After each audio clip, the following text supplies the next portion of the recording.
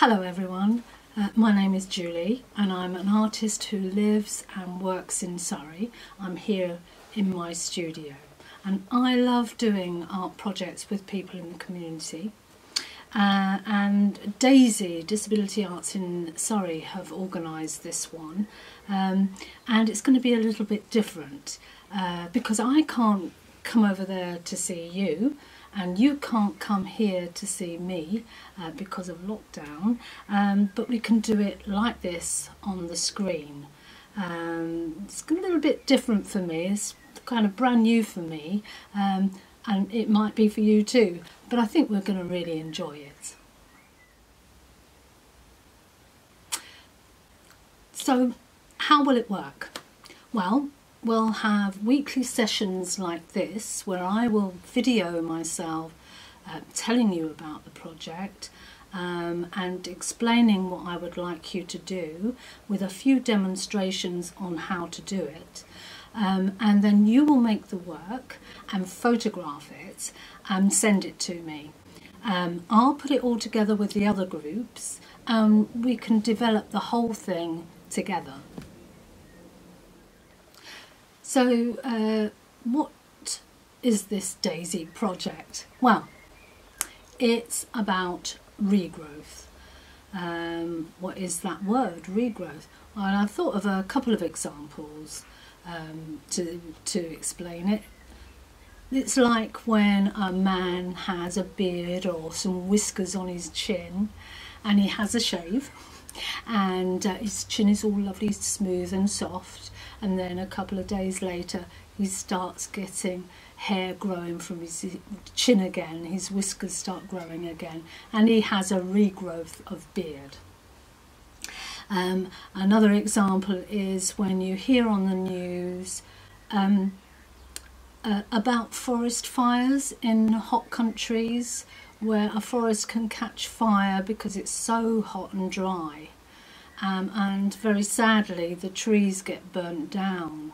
But uh, a couple of weeks later, uh, you know, everything has been left black and sooty, but suddenly a little green shoot comes up from nowhere, and then another one, and then another one, and before you know it, the forest is all green again with all the trees and the plants uh, regrown and uh, the birds come back and the animals come back and the butterflies and the insects come back so everything kind of returns to normal um, and there is a regrowth of forest and that's regrowth so um, we're going to try and do something like that. We're going to make a virtual woodland. So a virtual woodland, what is that? Uh, a woodland that we can't go and see for real. We can't go and outside and have a picnic there. It's a woodland that we can only see on our screens. Um, our telephones, our iPads, our computers, um, is going to be a virtual woodland. And we're going to grow this woodland from all your drawings and paintings and collages that you're going to do each week, and I'm going to put them together um, to grow our woodland. I'm quite excited about it. I think it's going to be lovely. So why are we making a virtual woodland? apart from it being great fun, uh, well, it's because of coronavirus. Um, it's changed things for us a little bit, hasn't it? Um, like lockdown, we can't go out to see the people we normally go to see, and we um, can't go to the places that we normally go to. Um, and like this art class, normally I would come over to you to make the artwork, um, but we're going to do it like this over the screen. Um, and there are other changes that we're kind of getting used to. They're all kind of being very normal now, like washing our hands for a long time while we sing happy birthday twice over. Um, and the social distancing um, uh, with people that you don't live with, you have to keep two metres apart. And that's all becoming quite normal to us now.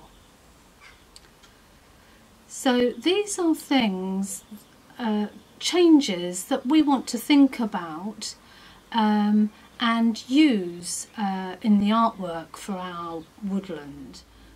We will make it about all of the changes that we're experiencing during lockdown. Um, you know, we're going to be making drawings um, uh, to put into the woodland like a tree or a plant, but that tree might be growing something that we're missing during lockdown. It might be um, some masks for the National Health Service or rubber gloves. It could be a, a rubber glove tree, uh, or it could be um, something to cheer us up when we're missing some the people that we usually see.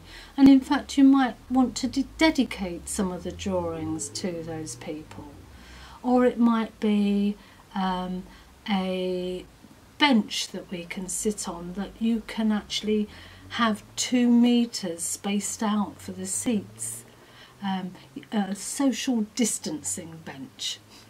Um, so we'll, when we're doing the drawings, we'll think about and discuss all of those things.